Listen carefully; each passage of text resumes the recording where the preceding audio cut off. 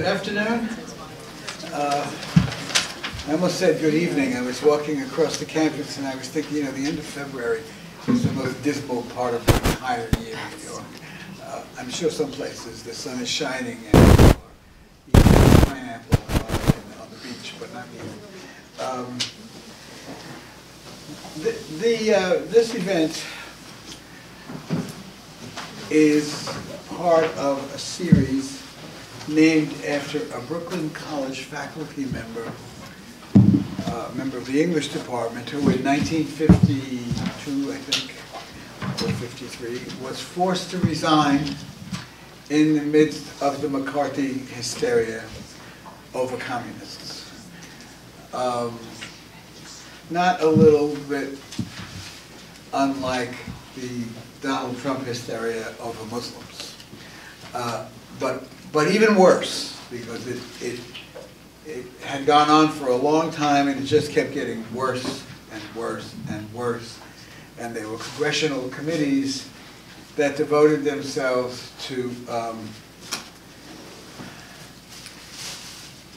doing a, a, a kind, a kind of public ritual of shaming that is, well, even as a, I was a little kid then, but I, it was just so horrible to watch. They would take people who had been, belonged to liberal organizations in the 1930s when the country was very, much more liberal than it was in the 1950s. And they would ask them in public, are you now or have you ever been a member of the Communist Party? And sometimes they would refuse to answer on grounds that it might tend to incriminate them, sometimes they wouldn't.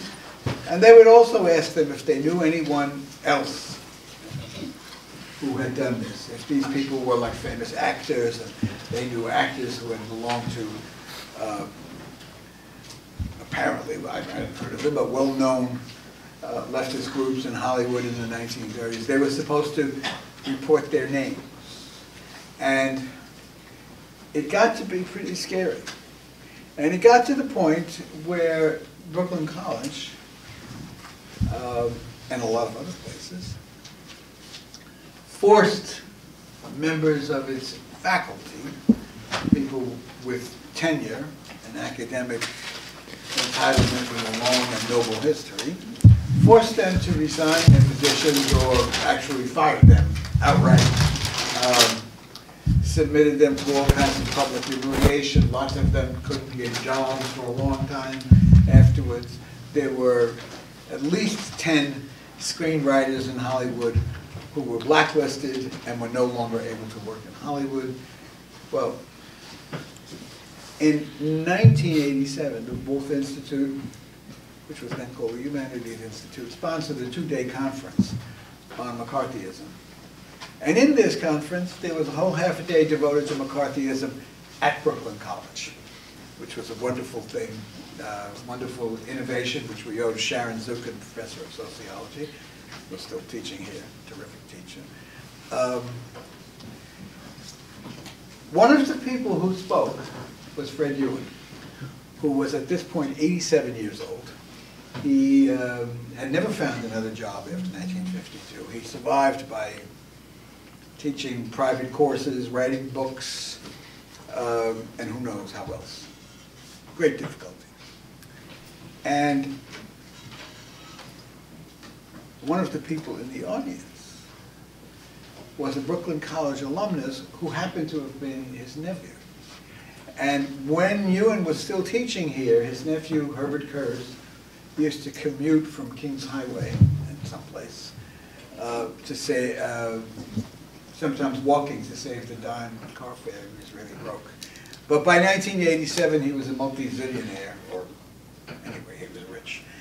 And two days after the conference, we got a letter from him, including a check for $100,000 to endow uh, a biannual lecture or conference on civil liberties. And at first, we were a little puzzled because we hadn't really thought of that as a specialty of ours, but it became the specialty of ours. And we've never, ever had to cancel this lecture or this series for the lack of something to talk about. Civil liberties are always under attack. Um,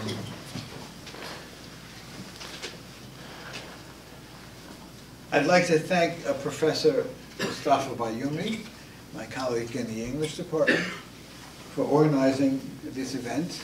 Uh, our speakers are Sarah Aly, a graduating senior in the Macaulay Honors Program here at Brooklyn College, and president of Brooklyn College's Students for Justice in Palestine, having served on its board for four years. Ramzi Kassem is associate professor of law at the City University of New York, where he directs the Immigrant and Non-Citizen Rights Clinic and supervises the Creating Law Enforcement Accountability and Responsibility, CLEAR, project, which primarily aims to address the legal needs of Muslim, Arab, South Asian, and other communities in the New York City area that are particularly affected by national security and counterterrorism policies and practices. Aviva Stahl, an independent journalist who writes about prisons, national security, and immigration detention. Uh, Rabia As Ahsin, is that right? Yes. Ahsin Tarar is a graduate student at Columbia University pursuing a master's degree in Middle Eastern, Southeastern, and African Studies. And I'd like to say, before closing, that that list uh, is a sign that civil liberties still exist in the city of New York, and uh, long may they thrive. Thank you.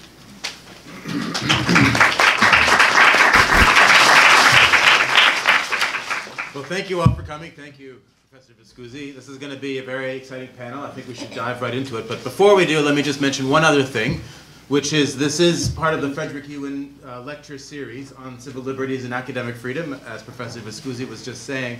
There'll be another event, which is on March 22nd, right? March 22nd at 11 a.m. We are screening the film Terror, which is the T in parentheses. I believe actually, unbeknownst, it was a surprise, I think, even to the filmmaker, but it screened last, last night on uh, Independent Lens.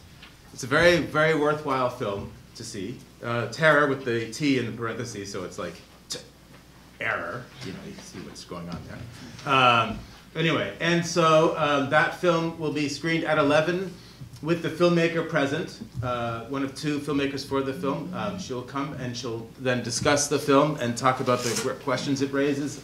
Uh, and um, lunch will also be served at that event. So uh, mark your calendars, March 22nd, 11 a.m. But turning to today's event, uh, I, I, don't know how many of you are aware of the facts of the New York City Police Department uh, and its infiltration of CUNY campuses in particular with regards to national security policies, the war on terror investigations, etc., etc. Raises many different issues, also not only about civil liberties, but also fundamental issues about our own academic freedom, about what are the uh, what are the times and places when, uh, if and when the police are able and, and should be allowed to come onto our campuses. Uh, and this is not an academic question. We know that it's not an academic question, but it's a very real question. Not that academics is not real, but it's a, it's a very real question because we now we have quite a bit of evidence about this happening. Uh, this is something that if you are part of the uh, uh, Muslim communities in New York City, I think that you've suspected that these sorts of things have been going on for quite a while. Uh, we actually now have a lot of confirmation of our suspicions. Uh, perhaps that began um, in a formal way, I guess, uh, with a 2011 series that began with the Associated Press talking about uh, the demographics unit, a whole wing of the, department, the police department that was set up to monitor the sort of blanket surveillance of the Muslim communities here in New York City and even beyond this, the, uh, the borders of the city. And that also included, those, in, those revelations also included uh, revelations that the police were also on our campuses. And then just this past fall, in October, we have even more uh, evidence for it. And there was a, a, a series of articles that uh, Aviva Stahl, at the end of the, uh, the table, this gender segregated table, which is not gender segregated on purpose, uh, at the end of the table, wrote a, a, a very good series of articles um, about the fact that there had been a woman here on campus for several years, in fact, for several years, who turned out to be an undercover police officer. And of course, we should also note the difference between a police officer who's working undercover versus somebody who's an informant working with the police. And so this is even more part of the system of the uh, police department if it's a police officer who's here on campus. Uh, let me read you a little bit about, uh, uh about this woman who she went by the name of Mel, right, on campus. And um, this is from the article that, uh, that Aviva wrote. So, so she writes, At first, Mel seemed warm and friendly, if a bit eager. She was very nice, very charming, said Shireen, who studied psychology at Brooklyn College and now works as a psychotherapist. She wanted to do everything with us. Mel told the Islamic Society women that she was a recent Rutgers College graduate who had grown up in Queens. She said that she was of Turkish descent and had been born into a Muslim but non-practicing family. The women active in Brooklyn College's Islamic Society were diverse. They majored in women's studies, psychology, pre-med, and political science, hung out with friends, crushed on boys, and nurtured their newfound political consciousness.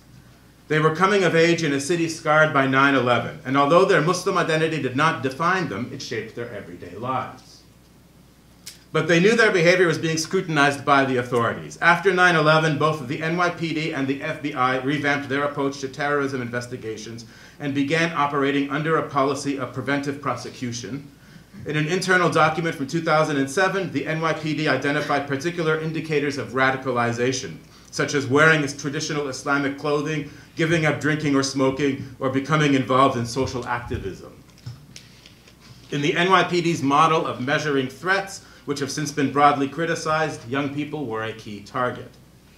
Shireen, then 25, and a close friend, Faiza, were responsible for introducing new converts like Mel to the basic tenets of Islam. One day in early 2011, Mel asked Faiza to meet her on campus. Quote, Faiza told me afterward that Mel asked her some strange questions, like, what is all of this about jihad, Shireen recalled, and asking about people who do suicide bombing. For Shireen and Faiza, Mel's questions were a red flag.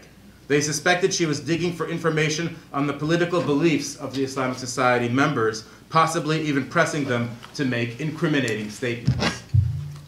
Okay, so that's from the first article that Aviva wrote about this. So I was hoping that we could begin uh, with Aviva talking about uh, the, the journalistic enterprise here that she was involved in and, and telling us where she got the idea for this, how, the story, how she dug for the story, what the story means, what it means for her, etc.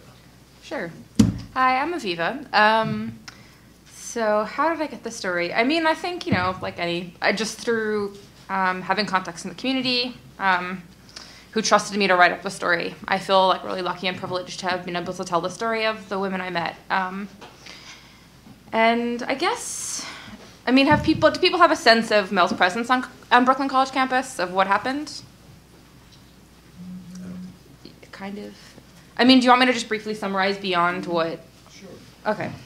So, right. So she shows up on campus in the spring of 2011, and the way she shows up, shows up on campus, I think, is important um, it was after an Islamic Society lecture, and students were outside. So she comes up to them and says she wants to take the Shahada, which is the testimony of faith. Um, and she does, and a group of young, kind of female Muslim students welcome her. They, as Professor Bayoumi mentioned, they teach her how to pray. They welcome her into their community. Um, right away, almost immediately, a few students begin to suspect her because of what she says. Um, you know, what is all this about jihad and the suicide bombings? Um, but also, you know, she was always able to attend events. She didn't seem to really have any other place to go, a job. Um, and I mean, some other students notice nothing, but like right away, some students kind of suspect her. Um, in April, in August 2011, the AP documents are released, and it's also reported that there had been an undercover cop at Brooklyn College and over that fall, students kind of get really worried and they seek out legal advice. So they go to CUNY Clear and they, they try to get guidance on what to do about the fact that they suspect someone at Brooklyn College. But they don't have any proof. You know, some students even try to Google her, Google her name, see if there's anything, if anything comes up, and like literally nothing shows up. It's pretty unusual to Google someone's name and have it like literally nothing show up. So the students are, are pretty worried. But you know, they also don't have any proof, and that's fundamentally what people at CUNY Clear told them, which was that you know, if someone's an undercover cop, you're never going to be able to prove it either way. It's kind of the point, right? Um, so they just kind of live with their doubt and also with what it means for them, like the kind of internal questions it brings up, like, am I paranoid? Am I imagining things? Is she just weird? And the kind of religious questions that come up too of the importance in Islam of welcoming converts, of making them feel comfortable, of teaching them, of making them feel like they're embraced in the community. Um, so over time, she gets really, really, kind of really, really uh, worms her, herself into the lives of some women. Um, she attends bridal showers. She goes to classes, religious classes with them. She goes to kind of social gatherings. She's even in someone's wedding as a as a bridesmaid. So she's not like on the like on the outside of their life. She's really like has re really intimate relationships with some of the women. Um, sort of time passes. Students graduate, but they keep seeing her around. Um, it sort of turns out we might address this later, but that you know Mel doesn't disappear off campus. That actually, in the spring of 2014 and the fall of 2015, um, some students set up a group called Unity. Maybe some of you were active in it. I don't know, which was like a coalition of students of color, uh, various groups, kind of organizing, sharing information and strategies and events. And it turns out that Mel was at those meetings too, internal meetings, planning meetings so that she wasn't just surveilling Muslim students, but she was going to kind of coalition of color groups that had like very little, at least, to do with Islam. Um, in any case, in April 2015, uh, two Queens women are arrested on terrorism charges, and it was kind of through those arrests that Brooklyn College women, who'd been way back in the day in 2011, realized that actually their suspicions from the beginning had been true, and that Mel actually was an undercover cop. And that this whole time would be kind of questioning themselves am i wrong? Am i paranoid? Should i be should i be should i be trusting her? Am i like being a bad muslim for having all these questions about her that they were actually right um, so i think just briefly i just want to kind of talk about four things that for me are important about the story in kind of general terms um, the first is the extent that mel that mel was willing to go to kind of worm her way into these women's lives um, and to gain their trust. So to take the shahada, right, for that to be the moment that she enters into their lives, I think is really important. Um, and I think really heartbreaking that uh, people's trust would be undermined in that way. Um, the second is that the Brooklyn College students that I interviewed, they were politically active, they were politically aware, and when they had suspicions and concerns about what was happening, they sought legal advice right? They went to the people who they went they saw lawyers to try to get guidance on what to do, right? And they and that they were aware about what was happening in in New York, right? They weren't like they they educated themselves about their rights and about what was happening with the NYPD. Um, the third is that uh, the kind of impact it had on their psychological well-being uh, and also on their community. So even though they were really well educated about what was happening, and even though they sought legal advice, they still doubted themselves. They still didn't know if they were being paranoid. Um, and it caused a lot of mistrust between people, both like before and after when they found out that Mel actually was an undercover cop. Um, so informants and undercover cops really tear away at the fabric of Muslim community life and life at Brooklyn College too. Um, and the fourth thing I think that's important to talk about is the fact that like what's actually most unusual about this story for me as a journalist is that like they found out. Not so much that there was an undercover cop or that there was an informant there, but that they could find out and verify that there was. And you know, there are like thousands and thousands and thousands of informants living in, in Muslim communities and reporting information to the FBI the NYPD. And there are also, I don't know how many cops, but presumably a fair number. Um, but we don't know, and there, it's really impossible unless there's reporting on it to gain information about this. And I think, you know, maybe, maybe later we'll talk about the settlement, but with the NYPD settlement, even, right? The only reason we know about the various kinds of undercover cops and informants and surveillance there's been in NYPD uh, in New York City is because there's been reporting on it where people, where reporters came across the information pretty much by accident or through like a series of coincidences. Um, and I think that's just, just really important to keep that in mind um, as we talk about this. Great, thank you. Uh, so uh, I think Rabia and Sarah, you actually knew Mel, yes? So do you want to maybe talk about these um, questions and also about what, what the impact is, do you think, on, uh, on academic freedom and on um, civil liberties? Um, so I, I did actually know Mel. I knew Mel I, uh, met her the first day that she, you know, in quotes, converted to Islam. Um, and but prior to that, I was politically active on campus. I was what you would call, I guess, religiously active. I was active with the MSA, the Muslim Students Association. And I think the question um, that I'm often, I guess, asked is, when did you discover surveillance and how did you react to that? And I think for me, discovering the surveillance wasn't it wasn't so much a discovery as as much as much as it was a confirmation. And so prior to even meeting Mel, um, there were always these suspicions that the people that we surround ourselves with may not actually be who they say they are. Um, and that fear, even before college, was pretty much instilled in many of us. And so coming across converts and coming across, and that's not to vilify converts, of course not, but like to, coming across people that we may not uh, be very, very familiar with um, is very scary sometimes because if you are someone who is politically active and align yourself with particular religious views, at least at you know within New York City, it becomes like a, a, a reason to be targeted. And so when I, you know, uh, a few months into knowing Mel, I started suspecting her. And I, because of my sort of being bound by certain, uh, I guess you could say, religious edicts, like we couldn't backbite. We couldn't talk about one another in, in, a, in a way that would cause suspicion. And so I didn't really know who to go to. I didn't know who to sort of um, tell that, okay, I think I suspect somebody of being an informant or an undercover, and at the time I didn't really know the difference between the two, and I just assumed that she was somebody who generally wanted to be, or generally, genuinely was a Muslim, but who was, um, you know, talking to the NYPD about us because one of the questions that she would kind of ask us, and that she was very present in our lives and didn't seem like she had a day job, and she was just always um, kind of like a leech on uh, onto us. But as far as um, as far as what it did to us, um, I think for me it was like twofold. One was that I would suspect others, and the second part was that I would I almost feared that people suspected me of being an informer.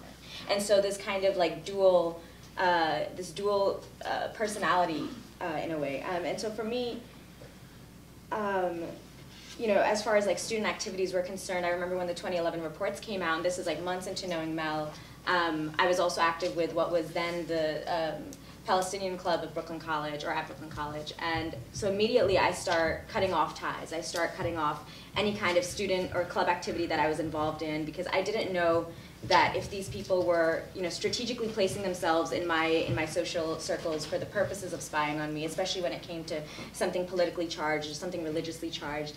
Um, and I think oftentimes what we're told is, well, if you're not doing anything wrong, there shouldn't be anything to fear.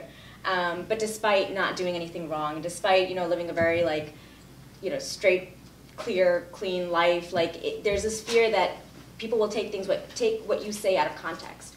Um, and I think so for as far as academic freedom is concerned, just within the college uh, or within a classroom environment where you know this is the one time that in anyone's life, really, if you go to college, you, you're expected to sort of uh, come out of your comfort zone and start addressing ideas that may be, you know, uh, far-fetched or may not be, you know, within uh, what you're normally used to discussing. So you'll be discussing controversial ideas and you'll be talking about things that are, um, you know, problematic.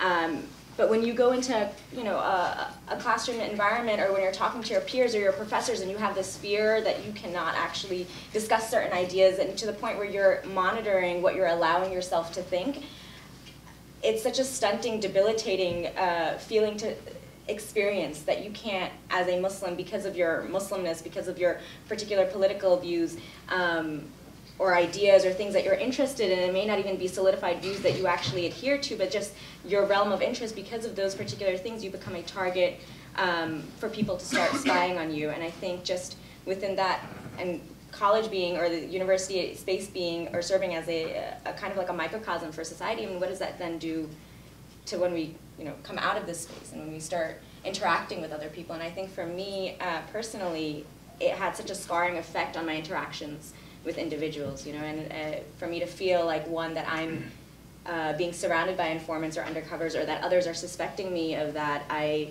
you know, begin to start uh, like selecting who I'll then speak to, who I'll be, uh, you know, who I'll allow myself uh, to be around, and that in so many ways stunts all these opportunities that I could otherwise have. Um, and so I think one question um, that I repeatedly think about is like the utility of surveillance as a safety tool or as a measure.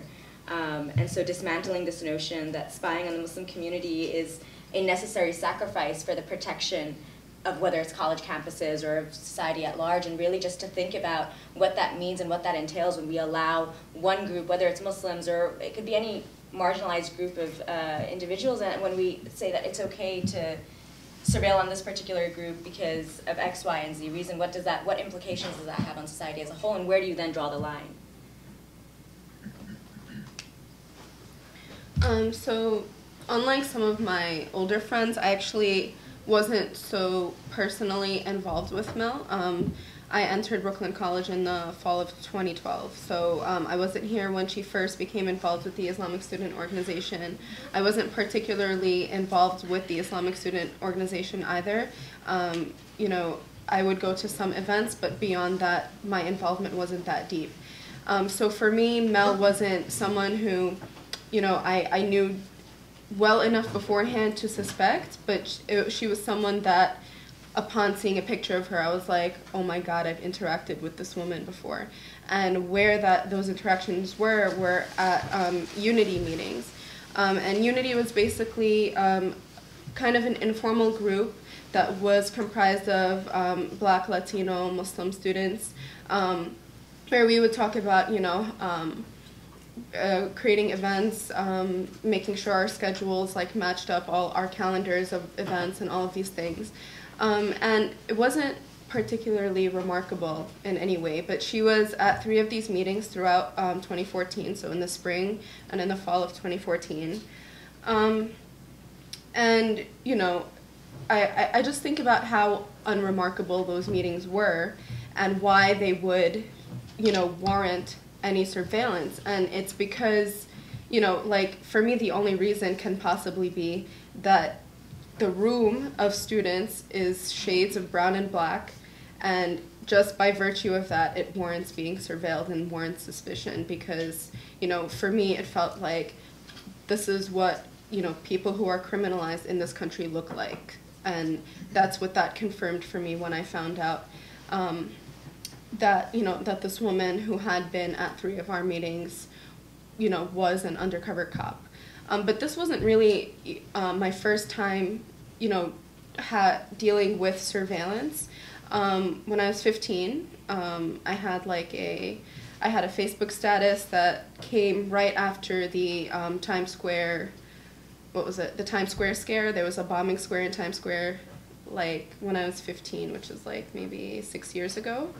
And um, I wrote a status that was probably pretty distasteful, but I didn't think it really warranted such an interrogation. Um, and it was, um, sorry, sorry about the Times Square incident. I just got a little bit emotional because the naked cowboy wouldn't hug me. So it was just, it was distasteful, but it wasn't something that I would say warranted what happened, which was that um, two FBI agents came to my house, um, interrogated me. Um, they put uh, like our phones. They told us that they would be listening into our calls and our emails. Um, so this was like my first interaction um, with the surveillance state. And um, at this time, you know, soon after, I also had other instances of surveillance that weren't related to the NYPD, and these were more related to my uh, involvement with um, Students for Justice in Palestine. And this this came in the form of um, basically monitoring of my social media account, which was confirmed when I would see, you know, screenshots from my um, from my Facebook. So it was very clear that my internet, my social media could never really be private.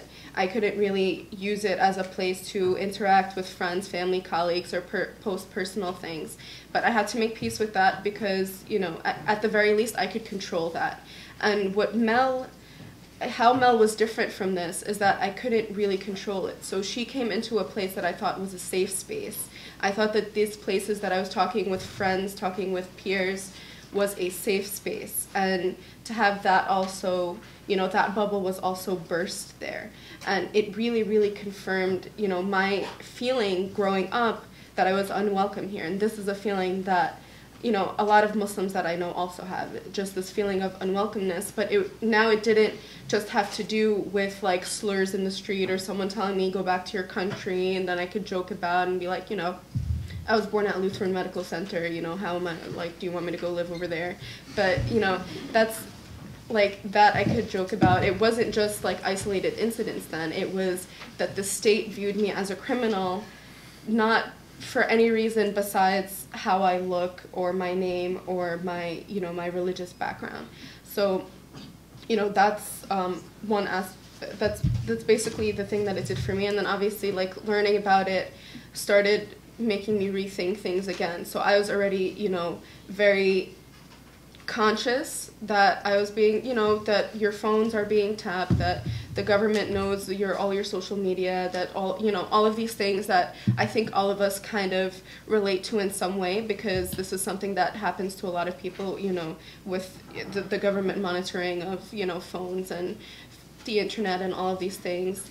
Um, but it, it, it, also became something personal on a personal level and I started questioning, you know, um, you know, which of my friends might be an informant.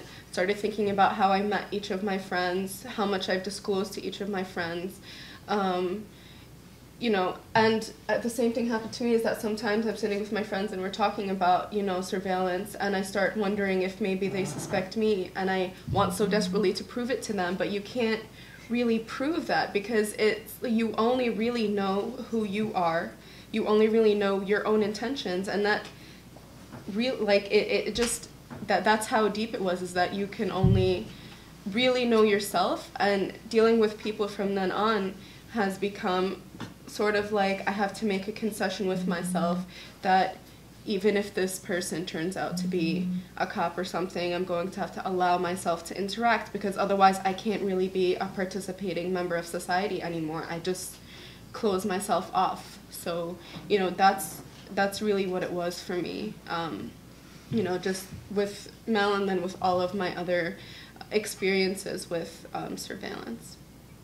I think um, this point that you had made about Mel invading a safe space, and I feel like for for many of us who have grown up, uh, you know, being marginalized for various reasons, coming into you know this college campus environment, um, going into MSAs or within our various clubs that we've either founded or become you know participants or active participants of, those are our safe spaces, and those are sometimes the only places that we can go to and kind of let down our hair, you know, so to speak. And so for us to then find these places and then also then suspect the very people that at one point made us feel safe that this isolation and sort of self-surveillance that ends up happening becomes sometimes our only um, our only solution, right? And it becomes this isolation then becomes our only way to kind of feel safe, and it it does um, create this sort of uh, fork in the road. Do we save ourselves from potentially being entrapped or potentially, you know, talking to an undercover or an informant, or do we go out living our everyday lives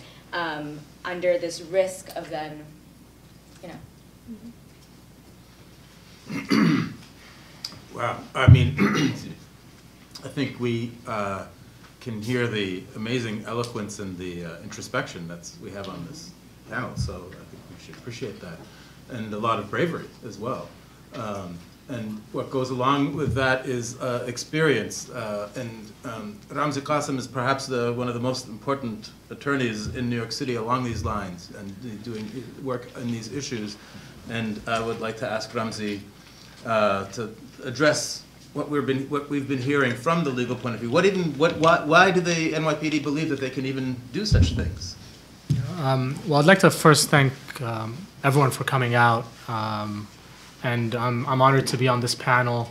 Uh, I'm I'm really humbled by the courageous interventions of my co-panelists so far, and I'd like to thank Moustafa for organizing this important panel.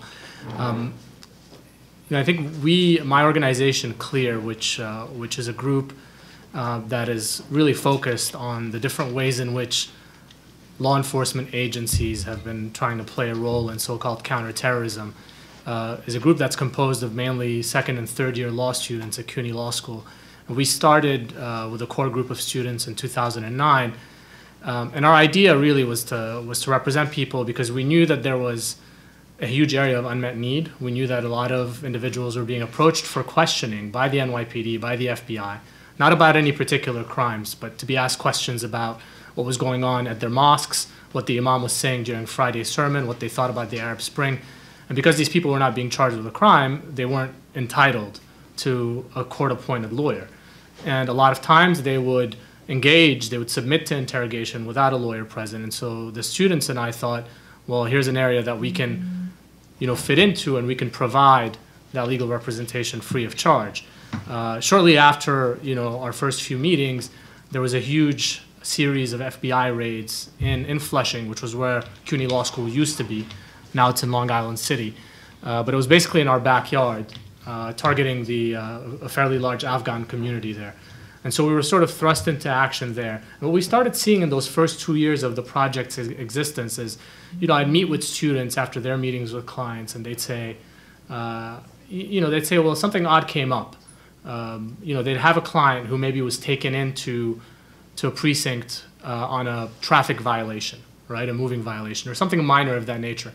And then they'd be taken to a separate room, and they'd be questioned by plainclothes detectives who wouldn't identify themselves, and they'd be questioned about things completely unrelated to the violation, to the traffic violation, whatever, whatever the offense was that brought them to the precinct in the first place. They'd be questioned about what community they came from, who they knew, uh, what they could tell about, you know, the board at the mosque or the community center that they were members of, where they lived, who they knew, what their neighbors, where their neighbors came from, what their immigration status was. So questions that had nothing to do with you know, the reasons that brought them to the precinct in the first place. So my students and I, you know, we were wondering what, what this was about. Um, and in 2011, finally, when, when the Associated Press revealed a whole bunch of previously secret NYPD, you know, police records, uh, we got confirmation of what we had started to see, you know, connecting the dots between our different cases at Clear. And I say confirmation deliberately because I think um, I know that for a large segment of the public, when those stories broke and when those documents became public, uh, you know, it was pretty much a revelation that this was going on. But for members of targeted communities here in New York City, uh, it wasn't a revelation. It was really a confirmation of what they had known or had suspected for years since 9 11, uh, which is that the police, and not just the police, uh, the FBI, Homeland Security investigations, a host of police agencies engaging in like sweeping surveillance, over policing of a particular community identified along religious and ethnic lines. So it was confirmation for, for those communities. I mean, obviously it was shocking confirmation because, you know, a lot of those documents showed, you know, there were police files on restaurants, bookshops, like every aspect of Muslim public life in New York City was logged, Gestapo style, and kept at a database in Brooklyn that was controlled by the police department. They went into MSAs, Muslim student organizations, uh, Muslim student associations. We, we saw that ourselves in the CUNY system. Um, you know, because after after these reports came out, you have to remember that the police and the mayor at the time very aggressively said, "Hey, no harm, no foul. No one's being hurt here. Surveillance is harmless, and it's also lawful. It's also constitutional." So a bunch of community-based organizations asked us at Clear to, to respond to those two claims that it was harmless and that it was lawful. Um, and as, as you've heard, uh, you know, from, from Sarah and Rabia, obviously surveillance is not harmless. Um, but what we, what we did, what the students in Clear did after community-based organizations asked us to do it, was we went around, we interviewed dozens of individuals who had been affected by the different aspects of NYPD surveillance. And when you think about what happened to my co-panelists with the informant, that's just, sorry, with the undercover, that's just the tip of the iceberg. There were various other aspects to this sprawling NYPD surveillance program. And what the students did is they wrote a report called Mapping Muslims that really substantiates the, the myriad expressions of surveillance and the very real devastating effect that surveillance has on communities, how disruptive it can be. And you've heard it, um, you know, from, from Sarah and Rabia, so I don't need to repeat it. But the chilling effect is real. Uh, the stigma is real. The fear that it instills in communities, uh, the paralysis that it causes in terms of organizing and activism, all of those things are real, measurable, concrete. Um, and I'll just give you one example. Uh, you know, the students uh, at the law school who were in Clear, uh, who were doing some of these interviews, went into the office of a Muslim Student Association at one of the CUNY undergraduate campuses, not this one. Uh, I believe it was Hunter or Baruch.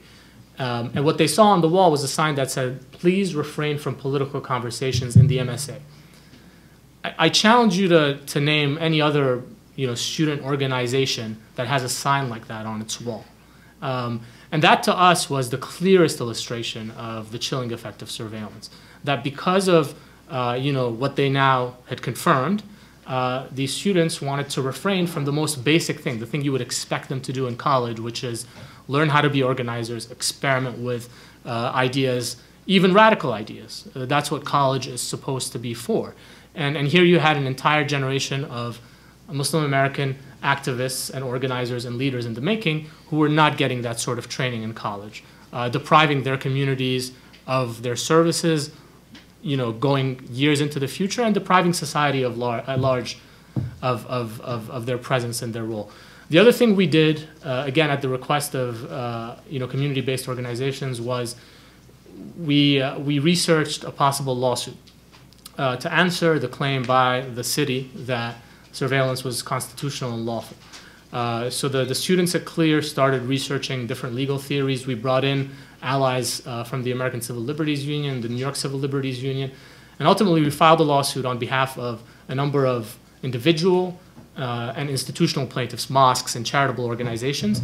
And that lawsuit uh, is titled Raza v. City of New York, and it's a lawsuit that basically uh, claimed that the NYPD surveillance program um, was a violation of the constitutional rights of the plaintiffs, who were all originally clear clients and partners, uh, because it violated their First Amendment rights under the US Constitution and it violated their right to equal protection under the laws because the NYPD was policing or over policing Muslim communities in ways that it was not uh, you know, scrutinizing other communities in the city and beyond. Uh, so that lawsuit was filed in 2013. Uh, it went through different procedural stages. And in January of this year, we announced a proposed settlement to the lawsuit uh, that, that should impose additional safeguards and restraints on uh, the police department that were not in place uh, up until now. That lawsuit is, uh, you know, the, the settlement has not been approved by the court yet. There's going to be a public hearing that's open to all of you and any other members of the public, uh, so you can come and express support for or opposition to uh, the terms of the proposed settlement before the, the judge decides whether or not to approve it.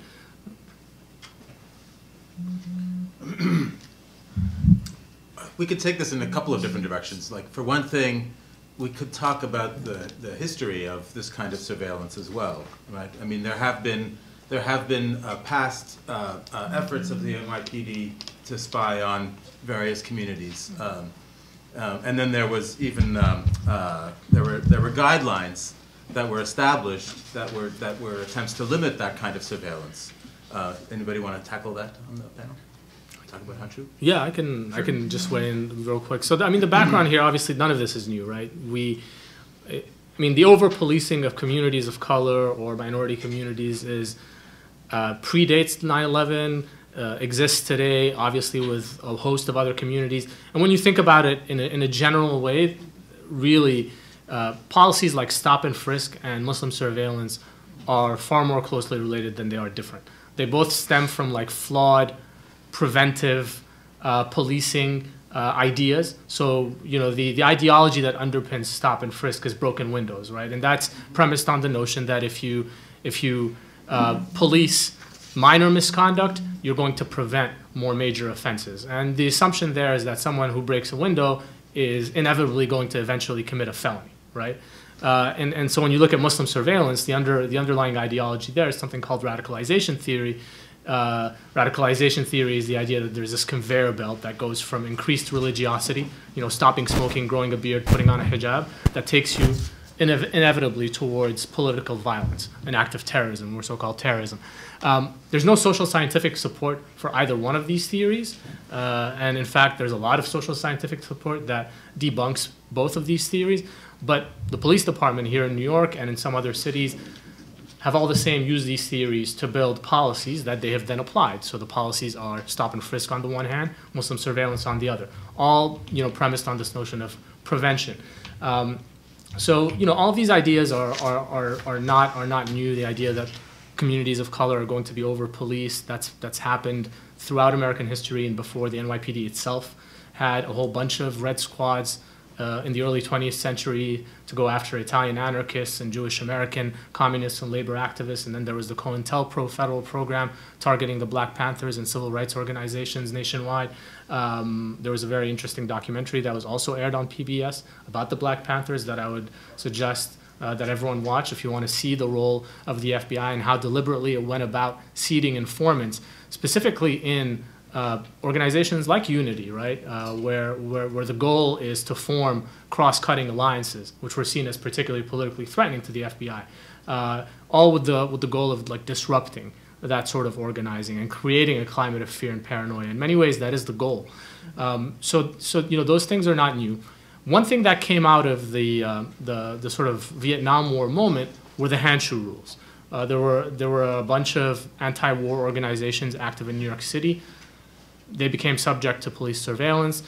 A number of them organized and filed what became a class action lawsuit, the Handschu lawsuit. So it's a very old lawsuit, it goes back four decades. And one result of that lawsuit was the imposition of guidelines, the, the Handschu rules, on the police department's ability to monitor political activities here in New York City. Um, those guidelines were uh, unique at the time, uh, but then when 9 11 happened, the police department went back in.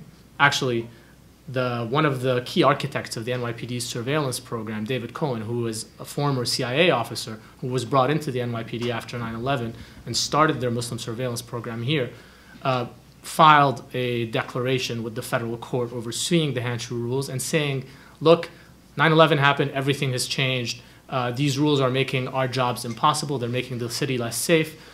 And as a result of that, the court watered down the Handschu rules, took away a lot of the oversight mechanisms that existed. Uh, civilian oversight mechanisms that were that existed within the police department were taken away, in addition to a bunch of other protections. As a result, the NYPD was able to roll out this surveillance program, the consequences of which you've heard about directly from Rabia um, and, and, and, Sarah and myself. Um, so those Handschu rules now are going to be, if this settlement is approved, they are going to be strengthened again, uh, brought back closer to where they were before 9 11. I wonder if Aviva could also talk about the uh, reception that your article has generated, uh, and also what, it, what reaction it elicited from um, from CUNY. Sure. I mean, I think it's fair to say the article was pretty uh, widely read. I think one thing that uh, I think one important thing about the article is that um, it reminded everybody that um, surveillance and infiltration of Muslim communities hasn't ended, and that de Blasio shutting down the demographics unit also doesn't change the fact that there are still informants and undercover cops in Muslim communities. Actually, like doesn't do anything to stop that. Um, and yeah, that the de Blasio administration um, hasn't, uh, though it's yeah, I suppose that the de Blasio administration hasn't taken as strong a stance as strong a stance on these issues as you might think he has. Um, so I think that's one really important thing to stress about the article is that uh, kind of after the AP reporting and after de Blasio's election, some people were under the impression that things had changed, but actually they haven't. um, I think, sure, I'll talk about the response from CUNY. Um, I mean, I think one important thing to remember is that, yeah, as we discussed in September, I think it was September 2011 when it was revealed that there was an undercover cop at Brooklyn College, right? So after that, President Gould, is she still the president here? Yeah, okay. She condemned, quote, the alleged intrusion of NYPD, of the NYPD into campus life, um, which sort of suggests that she was against it or had some feelings about it. I don't know. She said she was surprised by it, that she didn't know that this could happen. Um, when I contacted the communications office to ask them if Brooklyn College, in the interim years from 2011 to 2015, had ever sat down with the NYPD to be like, hey, please don't do that, they just they said no, that they'd never actually had conversations with the NYPD about this. Um, and I think it's fair to say that the chancellor and the chancellor's office have been pretty much un- unwilling to come out against what happened. Um, they've been uh, totally resistant to student and faculty organizing, uh, kind of saying that the chancellor should comment. They haven't, chancellor hasn't responded at all to petitions or faculty requests for meetings or um, anything like that. And um, one point I made in my article, which is that there is a, memorandum, a memorandum of understanding with NYPD that uh, There aren't supposed to be police on campus unless the administration is notified. Um, the chancellor, their chancellor's office, basically said that only applies to events, not undercover informants, and we would never expect the NYPD to in- disclose that kind of information to us. So I think, yeah, the, the chancellor's office and CUNY more generally has basically said, like, this isn't our problem. We wash our hands of this. What the NYPD does on on college campuses is uh, comes on falls under the Handschu guidelines. And if the NYPD says they're following Handschu, then I guess they are. Um, so I think there's that. But I think one other thing to remember is that, um, you know, Chancellor Milliken has certainly come out in other contexts to talk about these issues. I don't know if you guys followed kind of what happened, uh, was it at Hunter College, with kind of allegations of anti Semitism in November? Um, kind of around BDS activism and kind of the safety, whether it was creating an unsafe climate for Jewish students on campus.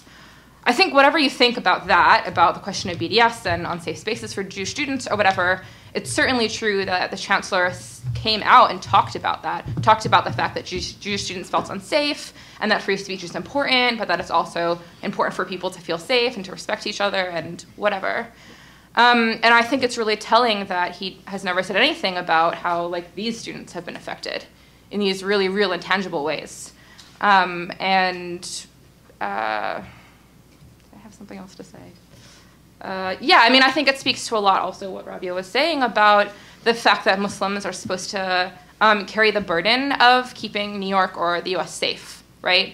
So uh, we need surveillance to keep us safe, and you know, if if if Muslims aren't doing anything wrong, then they should be okay with it. Actually, you know, the implication is that it's their patriotic duty to kind of put up with this spying and with the undercover cops because of because of the threat of terrorist attacks. And I think that's sort of mimicked in the fact that um, the CUNY administration is uh, so resistant to saying anything at all about what happened. Um, yeah, I, I think that um, like two things. One, this um, this question of, you know, you shouldn't have anything to fear if you have nothing to hide is one of the things that even though you know like you know in college i've taken a lot of courses that have to do with um, the civil rights movement and black power movement and you know i've been lear- alongside being spied i've been learning about nypd spying but still had a sense that you know it wouldn't happen to me because there was this whole thing of if you're not doing anything wrong and i felt like i wasn't doing anything wrong that would warrant spying. So so even with all of the historical examples and all of that, this idea makes it surprising every time. It makes it shocking every time. Um, and then as far as like um, you know the lack of uh, administrative response. Um, in the spring of 2015, um, Pamela Geller was on this campus, and you know there was a, a student disruption of her event. But you know what happened afterwards is that she um, she posted pictures of Muslim students on her website um, and links to their Twitters and you know other uh, social media, and we started getting you know pictures of severed heads and death threats and things like that, and you know we started feeling very insecure, and I requested to have. Um, a meeting with the president at that time. And you know, since the meeting was about the security of Muslim students, I thought I would also bring up at the time there wasn't anything released yet, but we had known already that Mel was an undercover cop, and I thought I'd bring it up. And it was the same thing that y- that you said happened in 2011 was what was said is that if there is, we don't know about it. Do you know how dangerous making a claim like that is? You can't make a claim like that without any backup. So, you know, it kind of made me second guess like the evidence that I had and made me feel like they thought I was lying. Um, or that they, they questioned it, or in, in any case, if it did exist, they didn't know anything about it and couldn't be held responsible or accountable for that. And since then, I do know that there was like something in the minutes of a meeting where President Gould condemned the NYPD spying, but this was a closed meeting and this was in the minutes of the meeting. Um, there hasn't been, you know, even though there's been like Twitter campaigns and all these things, you know, at uh, Milliken, at uh, Chancellor Milliken, at the president of Brooklyn College, asking for open condemnation. There hasn't been one.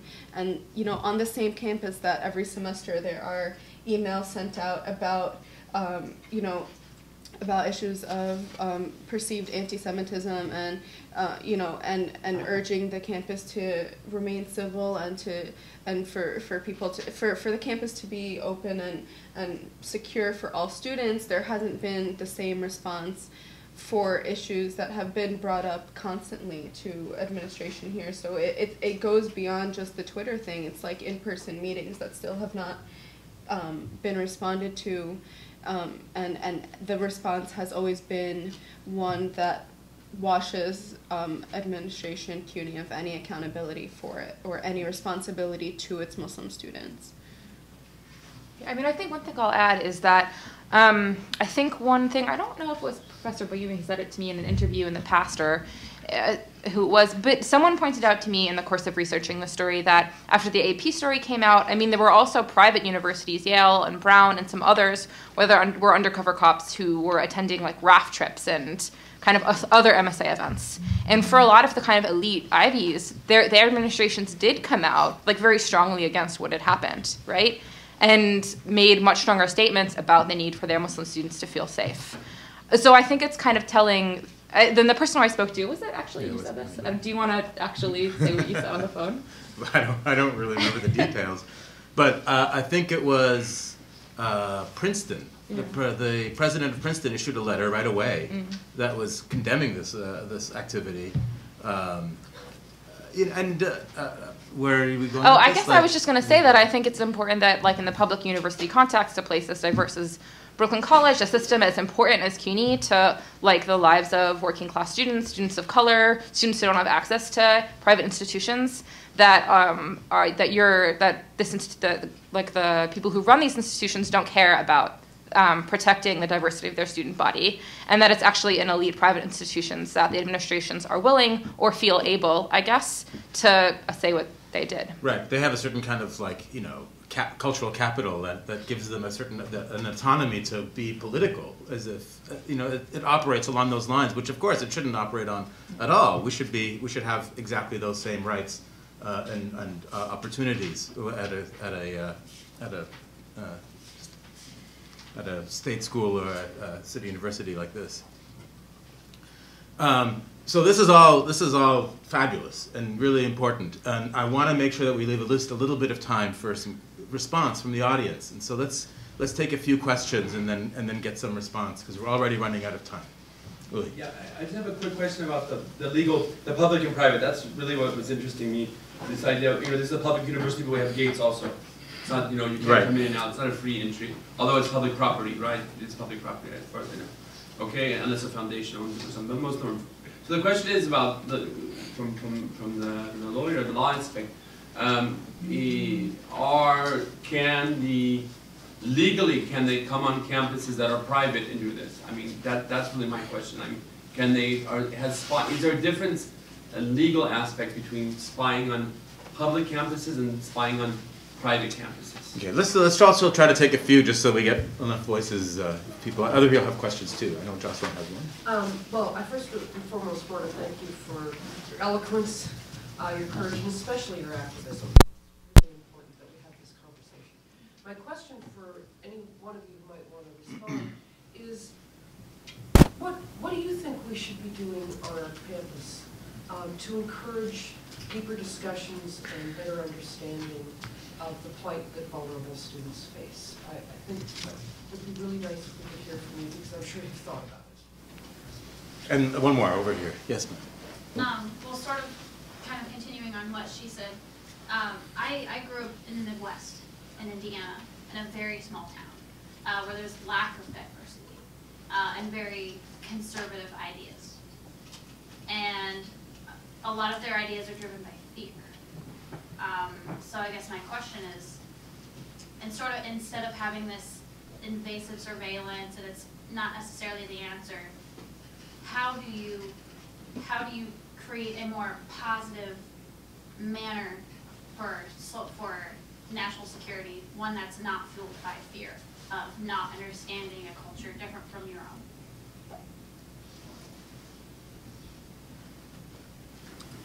I'm just the moderator. Um, as far as the question about what we can do on campus, I feel like for many of us, um, sometimes I feel like I know I know what's happening, but like other people may not be familiar. Other Muslim students may not even be familiar with um, the details of the surveillance, although they may have fears that it's happening. Um, so just creating those conversations from like the get-go, I think um, having like this kind of confidentiality, like what happens within a classroom environment, is a safe space. It should be a safe space. It shouldn't be. It, you shouldn't be held accountable for what you say or what you think out loud within you know within a university environment because that is the space which harbors you know difficult conversations difficult ideas controversial ideas and and i feel like if, if you do have you know in quotes problematic ideas whatever that may be um, how are you going to hone in on these ideas if that safe space isn't created for you to even have those conversations to begin with? And I, I feel like having an event like this and creating regular conversations like this on campus is just the first step um, but also having, you know, President Gould or whoever may be, you know, leading this institution to come out and condemn these things, whether or not uh, these people in positions of power actually have the ability um, to stop the surveillance, just knowing that the surveillance is being acknowledged and condemned in and of itself creates like security just for us. Because I remember when the AP reports came out, um, President Gould and many uh, many members of the administration kind of said, as a matter of fact, like, yeah, I guess it happened before, but it no longer happens. And so they were denying the experiences that we were having in those very moments. And so I feel like just having that um, is helpful. Yeah, I just want, uh, just a point of reference for that. Um, that President Gould saying yes, she agreed, she condemned, uh, that took place at, in a faculty council meeting, which is uh, open open law meeting, right, so anybody can attend. Uh, and uh, faculty had brought a resolution forward condemning the spying on campus, and uh, it passed unanimously uh, uh, at faculty council, and so it would be in the minutes of faculty council. And it was at that meeting, which wasn't, it's, there are minutes of it, where she said uh, absolutely she agreed, and that uh, this was awful, and she also said, and it's done. So moving forward, we don't if, the fact her, what she said was, we don't have to worry about this anymore because we had acknowledged it, but there was never a public statement made. Right, and that's a big, that's a big difference too. That's an important difference. Ramzi, do you want to address the uh, Yeah, public-private? yeah, I mean, I'll say, uh, it doesn't uh, actually make a legal difference whether it's a public or a private campus. And certainly the NYPD, we've all heard them say that what they've done, and obviously, I mean, what, what culprit, what government agency fesses up immediately to its wrongdoing, right? That never happens. So obviously, the police department is going to say it's legal, it's compliant with the Handschu rules, it's compliant with the Constitution. They're going to say all of those things, uh, but we, you know, I think I'm not the only one who happens to disagree.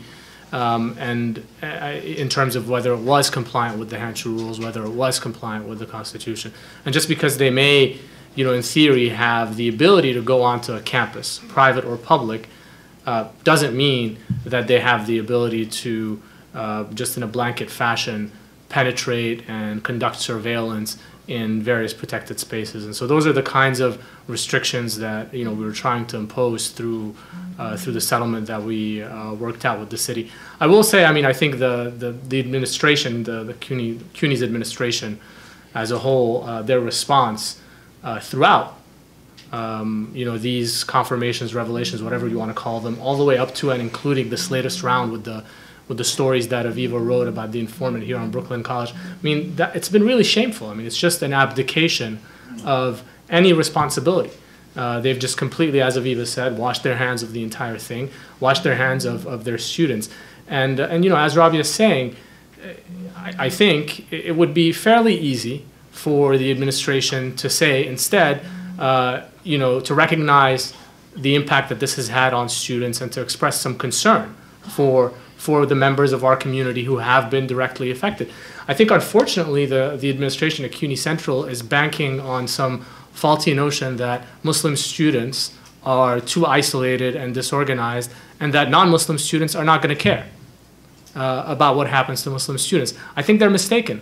Uh, I know that right now there is an effort afoot uh, to get some additional resolutions passed, both by different student bodies as well as by faculty bodies, and it is hopefully going to culminate in another push to put pressure on the chancellor's office to, to make a more responsible uh, statement because the statement that was put out was just uh, you know laughable if it weren't uh, really saddening. Um, uh, Um, I was just going to address your um, question about um, national security, and you know, I think within within U.S. borders, um, the answer is definitely not criminalizing or over policing um, student like certain groups of people. I think education does way more in reducing fear and all of these misconceptions than than having people over policed and surveilled ever will.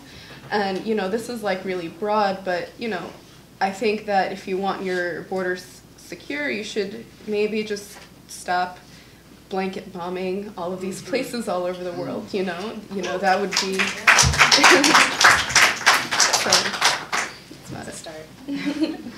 Um, I think also speaking to the question of fear, um, and kind of also doing this work as a journalist, I mean, one thing I've never really spoken about is just actually how hard it was to get the initial Gothamist story published. When the story was first kind of fell into my hands, I thought like it would be really easy to place because it's so explosive and it was revelations that had never ever been written about. But it, it's the, the story that I've had the hardest time placing in my career and I had I think I walked away for or had was rejected from I think maybe four or five outlets before Gothamist finally agreed to work with me. And you know my experience with Gothamist was amazing, so I'm actually really happy with how it turned out. But um, there was a lot of indifference, and there was there were a lot of conflicts with outlets about how to tell the story. Um, and about, for me, it was really important to frame the narratives of the women who experienced the surveillance and what it felt like, what it meant to them, and to humanize, um, humanize their experiences, right? To make to make it real, to make the fear they experienced real. And a lot of outlets, um, we had a lot of tensions with a lot of outlets about that. Um, so I think if you, I think fear also comes from the way that the mainstream media and even relatively progressive outlets cover this issue and the really dearth of Muslim voices and humanizing voices in the mainstream media to talk about this issue. Um, and I think that if we're going to create a different kind of conversation, which seems sort of even a ridiculous idea given the way the primaries are going, but um, you know, I think it's really important that we push back against, um, yeah, against what's happening in in the mainstream media, and really demand different kinds of stories and demand more space for like voices like these to talk about what they've experienced. And then, incidentally, too, following the uh, the Paris and then immediately after that the San Bernardino shootings, I believe it was the police commissioner then said that he's going to ramp up the surveillance all over again. Um, so, uh, Can I say one thing? yes, please. So I, I did want to make a plug for you know for those of you who, who are curious about like your rights if you are approached or if you know someone who's approached for questioning or if you suspect as many people in different communities do that there may be an undercover or an informant in your midst. Uh, the students at Clear over the years have written up pamphlets on these subjects and they've revised them and refined them. There's a bunch of them on a table right outside this auditorium. I would encourage you to pick them up, hand them out. Uh, and for those of you who are interested in like doing this work, I would encourage you to come to, to CUNY where we graduate only social justice oriented lawyers. I think we need more lawyers doing this kind of work. So if you're interested in law school, pick up some of those materials as well. When we had uh, meetings about stop and frisk a couple of years ago, we were all, or many of us, were kind of shocked to find out that when someone was stopped, uh, the, the incident was recorded and became a permanent civil disability for the person involved, even though that person was never charged, let alone convicted or processed in any way. Um, Is something, I mean, you made the analogy, I wonder if the analogy goes this far. If people are reported on in this way, does it create a civil disability? Yeah, no, that's a really good question. I mean, I think for in the stop and frisk context, it really depends on how the incident ends. But let's assume it doesn't end with that kind of a record that haunts someone for the rest of their life. It's still bad enough to have to, right? I'm that it is. No, no, I know. See the psychological effects. The psychological, social, But, but also the real world effect. Right. To keep people from getting jobs, and, you know, that. Right. So I think I think on the surveillance side, uh, you know, the records that are being created about businesses, about uh, student organizations, about individuals, you know, those records were previously secret records. Now, some of them have been made public. Some of them have been leaked and made public. And if you go on the Associated Press's website, you can find hundreds of pages of these previously secret police records. Part of the issue is that whether or not they're secret, you know, do we want to live in a society where the police has compiled these records on activities that have nothing to do with criminal conduct, right? It's, it's what you would imagine the Stasi would do. It's not what you would imagine the NYPD would do. Uh, although, again, there's a long history of the NYPD doing just that. Uh, so, so I think that's the, the real question. It, it doesn't, it doesn't come back to haunt you in, in that kind of way. Um, because, because those records are not, you know, public records that are shared with different agencies. Although I should just add too that uh, uh, um, there have been several uh, um, studies around employment discrimination over the last several years, and they find that employment discrimination is very highly pronounced against Muslim candidates right now. So I think that also, you know, part of this, maybe it's not you specifically, but people don't want to get Yeah, hired because, works. yeah, it works out even, even more racist on that level, right? Yeah. So, but uh, I, I shouldn't have had the last word, but I want to really thank this amazing panel and thank you all for coming.